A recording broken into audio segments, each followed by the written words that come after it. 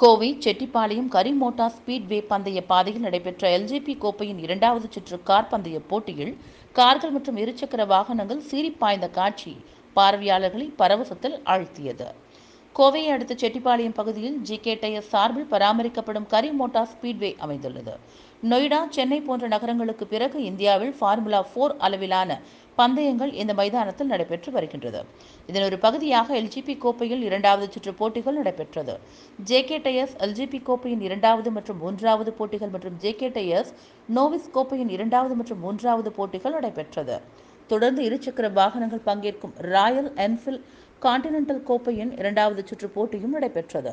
இதில் எல்ஜிபி கோப்பையின் இரண்டாவது சுற்றில் திலிஜித் முதலிடத்தையும் டிஜில் ராவ் இரண்டாவது இடத்தையும் சந்தீப் குமார் மூன்றாவது இடத்தையும் பிடித்து அசத்தினர்.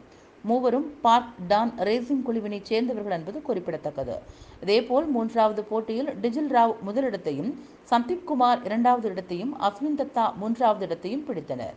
நோவிஸ் கோப்பையில் இரண்டாவது போட்டியில் எம் ஸ்போர்ட்டின் ரூகான் ஆல்வா முதலிடத்தையும் ஜேடன் பாரியட் இரண்டாம் இடத்தையும் டிடிஎஸ் ரேசிங்கின் ஜோயல் ஜோசப் மூன்றாவது இடத்தையும் பிடித்தனர்.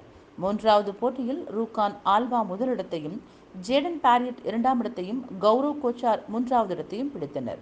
ராயல் என்ஃபீல்ட் பைக் போட்டியில் திருச்சூரைச் சேர்ந்த அன்பல் அக்தர் முதலிடத்தையும் ஆலின் சேஃபியர் இரண்டாம் இடத்தையும் கோவையைச் சேர்ந்த ராஜ்குமார் மூன்றாம் இடத்தையும் பிடித்தனர். பந்தய மைதானத்தில் கார்களும் இருசக்கர வாகனங்களும் உருமல் சத்தத்துடன் சீறி பாய்ந்த காட்சி பார்வையாளர்களை பரவசத்தில் ஆழ்த்தியது.